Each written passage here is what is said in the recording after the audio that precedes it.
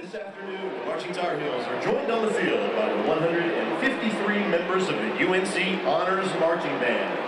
These students come from 51 different North Carolina high schools and high schools in Virginia, Maryland, New York, New Jersey, and Kentucky. We welcome them to Kenan Stadium and begin our performance with the UNC fight song, North Carolina.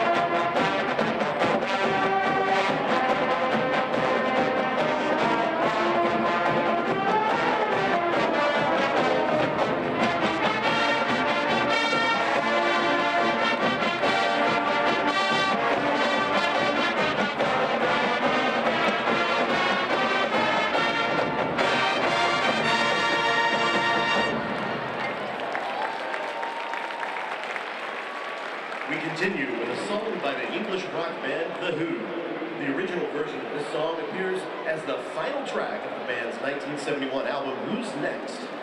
The single reached number 15 on the Billboard Hot 100 and is a perennial favorite on the classic rock stations. Here's Won't Get Fooled Again.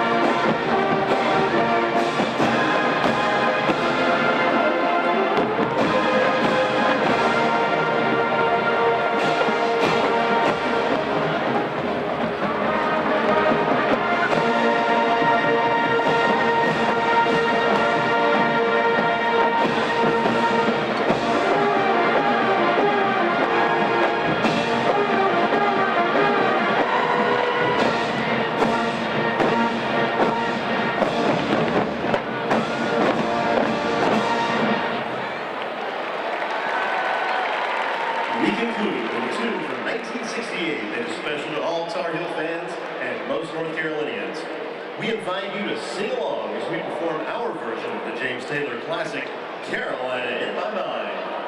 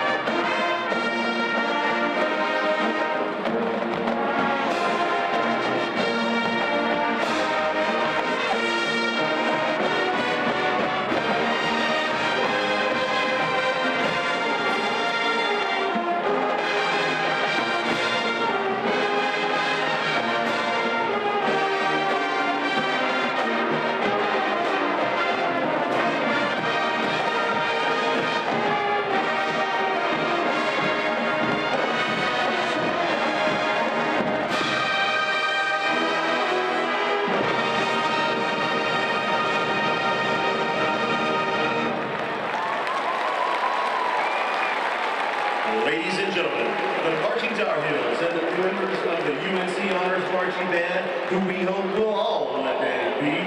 will